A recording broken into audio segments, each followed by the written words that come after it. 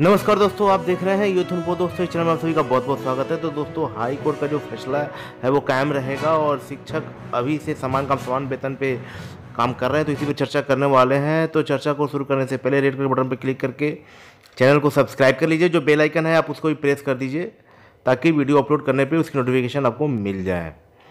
तो बिहार पंचायत नगर प्रारंभिक शिक्षक संघ से जुड़े हुए शिक्षक भानु प्रताप सिंह, जो 15 मार्च को कोर्ट रूम में उपस्थित थे, उन्होंने समान काम, समान वेतन पर जो फैसला आया है उससे जुड़ी बहुत सारी बातों को बताया है।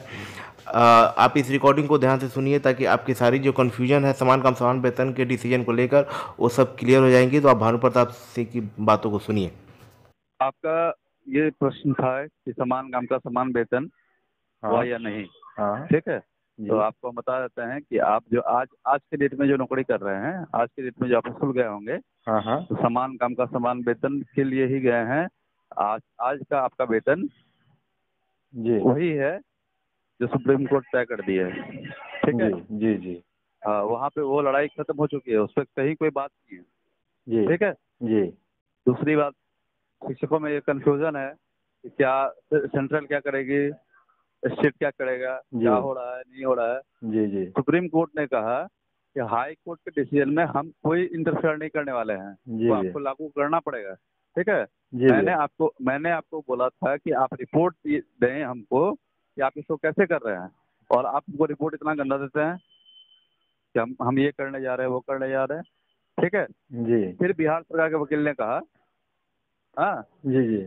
कि सर्व शिक्षा अभियान से इतना पैसा आता है हमारे पास इतना ही पैसा रहता है ये वो जो उनका रिपोर्ट में था आप लोगों ने देखा होगा। ठीक है? जी जी सुप्रीम कोर्ट ने कहा कि अगर सर्व शिक्षा अभियान नहीं रहता तो आप अपने स्टेट में पढ़ाई बंद कर देते एजुकेशन सिस्टम खत्म हो जाता वहाँ पे। जी। इसलिए बेवकूफ़ ना बनाइए ठीक है?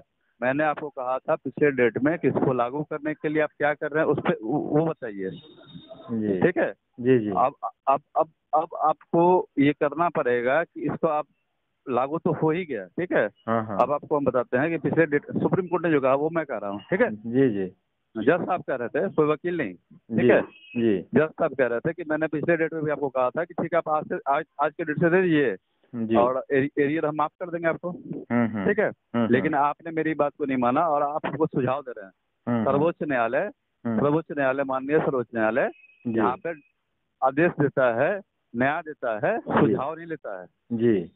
ठीक है? जी। तो हम आपसे सुझाव नहीं मांगे थे। मैंने ये कहा था सर्वोच्च न्यायालय के कहने से भानु नहीं बोल रहा है ठीक है? जी जी जी। कि हाँ कि आप आ- आपको कहा गया था कि आप रिपोर्ट दीजिए कि आप कैसे इसको लागू कीजिएगा। जी। आपको नहीं समझ में आया। तो अब आप ये अब आपको ये बताया जा रहा है कि आप अब ये तय कीजिए जी।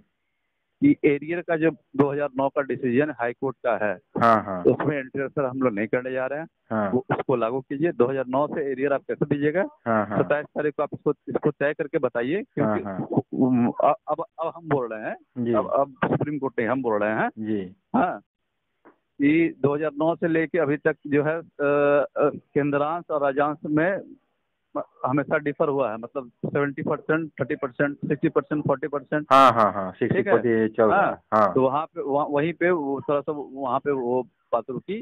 ठीक है? जी। तो उनको कहा गया कि आप तय करके आके हमको बताइए कि एरियर आप कब दे रहे हैं कैसे दे रहे हैं एक पार्ट में दे रहे हैं या दो पार्ट में दे रहे हैं ठीक है? जी जी और आपका परसेंटेज क्या होगा? और हाँ, हाँ। अगर आप नहीं कर सकते हैं सत्ताईस को हाँ। ठीक है? अगर आप नहीं कर सकते हैं हाँ जी। तो मान माननीय सर्वोच्च न्यायालय ये तय कर देगा कि फिफ्टी फिफ्टी परसेंट मिला के दोनों को देना पड़ेगा। जी जी। हमारे सभी शिक्षक जो आज नौकरी कर रहे हैं आज के डेट में आज। की डेट में हम लोग वेतन मानते काम हैं। के- समान काम के समान वेतन पे नौकरी कर रहे हैं। जी जी जी।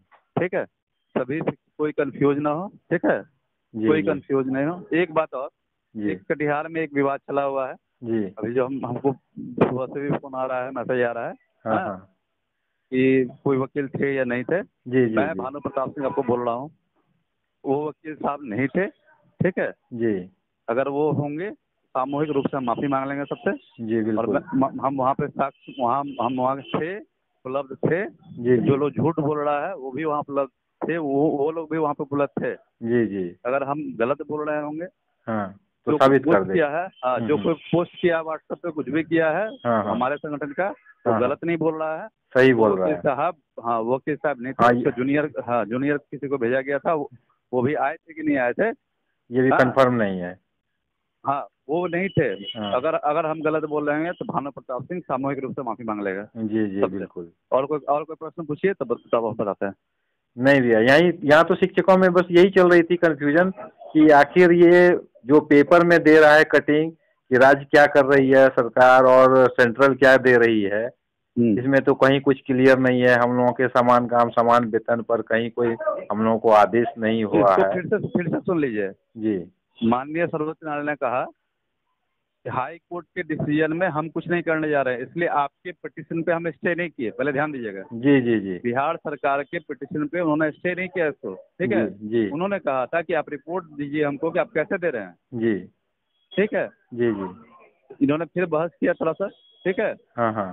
फिर उन्होंने सर्वोच्च न्यायालय के जज जज खुद बहस कर रहे थे हम लोग तरफ़ से जैसे जो हाई कोर्ट में होता वही कहानी चल रहा था ठीक है? अच्छा अच्छा। उन्होंने कहा कि अगर सर्व शिक्षा अभियान नहीं रहता तो आप राज्य राज्य सरकार में स्टेट में शिक्षा खत्म हो जाता बंद कर दीजिए सिस्टम हाँ एजुकेशन खत्म कर दीजिए। जी। इससे पीछे की कोई बात नहीं है आपको ये देना तय है ये देना पड़ेगा ठीक है? हाँ हाँ। आपको पिछले बार हम माफ़ किए थे कि एरियर आप ठीक है एरियर माफ़ कर देते हैं लेकिन आप। आप है तो आप आके ये तय कीजिए कि एरियर कैसे दे रहे हैं कितने कितने भागों में दे रहे हैं। एक दो।